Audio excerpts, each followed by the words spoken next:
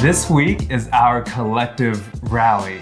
This is where we gather all of our R3s from across the city to meet corporately to celebrate what God is doing and how we've joined Him in, in what He's doing. We get to pray together. We're going to praise together. We're going to prophesy together. And just as 1 Corinthians 14 says, that leads to the upbuilding, consolation, and encouragement of the entire body of Christ. And we're going to come together to do that this week to celebrate all that God is doing.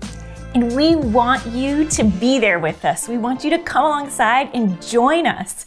Because, yes, I mean, the community is together and we get to pray and worship our God and just experience and celebrate what He is doing.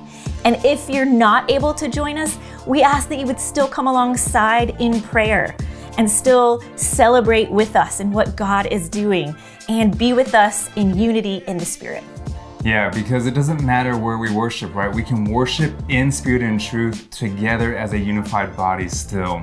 And so we want to bless you into that. We want to bless uh, this gathering that we have. And so we bless you with renewal. Renewal in your faith, renewal in your walk with Christ, renewal in your relationships, renewal for what God is doing and how we're joining His work.